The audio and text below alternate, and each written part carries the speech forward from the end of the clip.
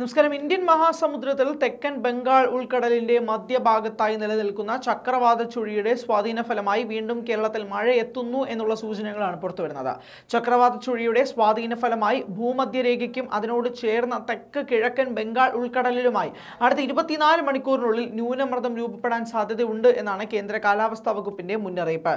അതേസമയം തന്നെ കേരളത്തിൽ ന്യൂനമർദ്ദ ഭീഷണി ഇല്ലായെങ്കിലും അടുത്ത അഞ്ച് ദിവസം ഒറ്റപ്പെട്ട സാധാരണ നിലയ്ക്കുള്ള മഴയ്ക്ക് സാധ്യതയുണ്ടെന്നും പറയുന്നുണ്ട്. അങ്ങനെ പറയുമ്പോൾ പോലും മഴയുടെ സാധ്യത കാണുന്നുണ്ടെങ്കിൽ പോലും സംസ്ഥാനത്ത് മഴ മാറി മാനം തെളിഞ്ഞിരിക്കുകയാണ്. അതോടെ വെയിലിന് പേടിക്കേണ്ട അവസ്ഥയിലേക്കാണ് ഇപ്പോൾ സംസ്ഥാനം നീങ്ങുന്നത് എന്നും പറയാതിരിക്കാൻ സാധിക്കില്ല. രാജ്യത്തെ ഏറ്റവും കൂടുതൽ ചൂടുള്ള സ്ഥലമായി കേരളം ഈ ദിവസങ്ങളിൽ തന്നെ മാറി വന്നുകൊണ്ടിരിക്കുകയാണ്. ഇന്നത്തെ കണ- കണക്ക് പ്രകാരം രാജ്യത്തെ ഏറ്റവും ഉയർന്ന ചൂട് രേഖപ്പെടുത്തിയത് കേരളത്തിലാണ്. കണ്ണൂരിൽ രേഖപ്പെടുത്തിയ മുപ്പത്തിയഞ്ച് ദശാംശം ആറ് ഡിഗ്രി സെൽഷ്യസ് ആണ് രാജ്യത്തെ തന്നെ ഏറ്റവും ഉയർന്ന താപനില. നിലവിലെ സാഹചര്യത്തിൽ പകൽ സമയങ്ങളിൽ ചൂട് കൂടുമെന്നാണ് മുന്നറിയിപ്പ്. സംസ്ഥാനത്ത് വരണ്ട കാലാവസ്ഥ തുടരുമെന്ന് തന്നെയാണ് വ്യക്തമാകുന്നത്. അടുത്ത ദിവസങ്ങളിലും മഴ വിട്ടു നിൽക്കാൻ സാധ്യതയുണ്ടെന്ന് പറയുന്നെങ്കിൽ പോലും ഒറ്റപ്പെട്ട ഇടങ്ങളിൽ മഴയ്ക്ക് സാധ്യതയുണ്ടെന്നാലും എങ്കിലും മഴ നേരിയ തോതിൽ കിട്ടാനുള്ള വകുപ്പുകൾ കാണുന്നുണ്ട്. മത്സ്യത്തൊഴിലാളികൾക്ക് ഒരിടത്തും ജാഗ്രതാ നിർദ്ദേശമില്ല എന്നതാണ് മറ്റൊരു കാര്യം. നീണ്ട മഴക്കാലം നീണ്ട വേനൽക്കാലം കേരളത്തിന്റെ കടലിനെയും കായലിനെയും ആവാസ വ്യവസ്ഥയും ഒരു നൂലിൽ കോർത്തവണ്ണം അതിസൂക്ഷ്മമായി പരിപാലിച്ചിരിക്കുന്നത് ഈ നീണ്ട സീസണുകളാണ്.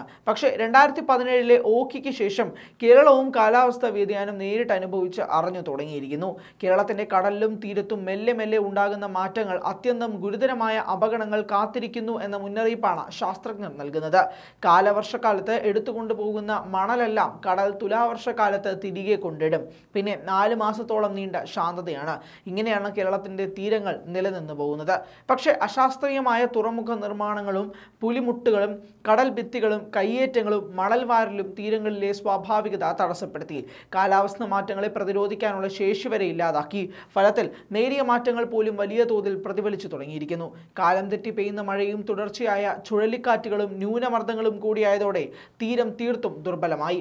ഓക്കിക്ക് ശേഷം ശംഖുമുഖം ഇടിഞ്ഞതും വലിയ തുറ ശോഷിച്ചതും ഇതിന് ഉദാഹരണമാണ്. ദേശീയ തീര ഗവേഷണ കേന്ദ്രത്തിന്റെ കണക്ക് പ്രകാരം കേരളത്തിന്റെ നാൽപ്പത്തിയൊന്ന് ശതമാനം തീരമേഖലയിലും മാറ്റങ്ങൾ പ്രകടമാണ്. മുപ്പത്തിയേഴ് ശതമാനം ആ, തീരപ്രദേശം മാത്രമാണ് സുരക്ഷിതം. യു എസ് ആസ്ഥാനമായ ക്ലൈമറ്റ് നിഗമനങ്ങൾ അനുസരിച്ച് ചുവപ്പിൽ കാണുന്ന കേരളത്തിന്റെ തീരങ്ങളൊക്കെയും അപകടത്തിലാണ്.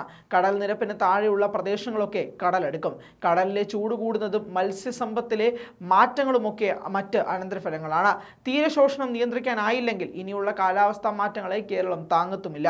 ബാക്കിയുള്ള തീരമെങ്കിലും സംരക്ഷിക്കേണ്ടതായുണ്ട്. നഷ്ടപ്പെട്ട തീരം വീണ്ടെടുക്കേണ്ടതായുള്ള സാഹചര്യങ്ങളും വരുന്നുണ്ട്.